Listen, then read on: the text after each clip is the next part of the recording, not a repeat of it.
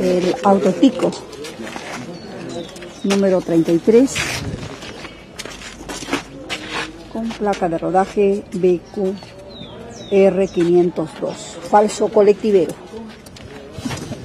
Díaz va a dar el detalle eh, ¿no? de este personal con relación a esta intervención. Ellos no han venido porque están de franco, pero con su página web eh, se lanzó la foto de esta persona y a través también del WhatsApp.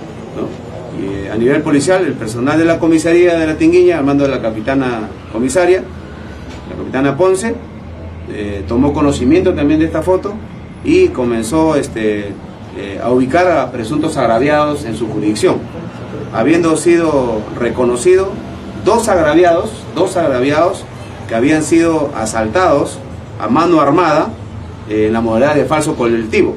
¿no? Una persona, el chofer, con las características del intervenido, otro delincuente y una, una mujer. Eso, estos hechos ocurrieron el 10 de junio y el 2 de junio del 2005. Por razones de seguridad no le damos los nombres, pero sí han sido dos personas agraviadas del distrito de La Tinguiña.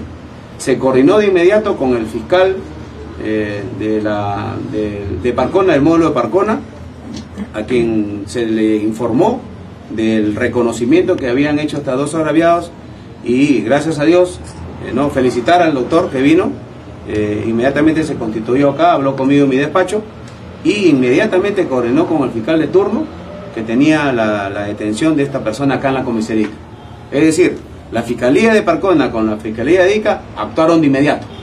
Y eso es bueno y reconocer a que nuestros fiscales han actuado de inmediato en salvaguarda de la seguridad de nuestros, de nuestros ciudadanos que venían siendo asaltados por este delincuente. En la manifestación él ha referido que se encontró el arma.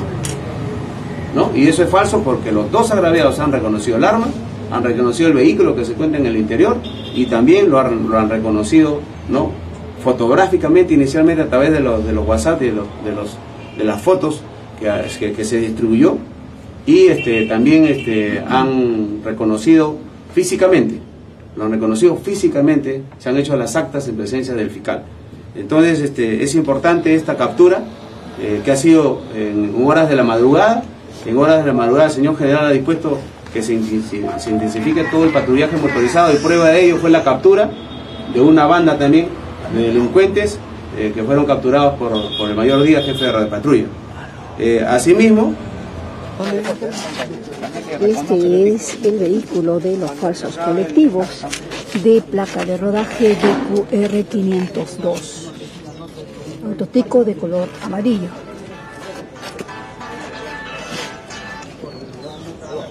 Es tico amarillo, pues no tiene ningún tipo de, ¿no? O sea, tú subías ahí, iba él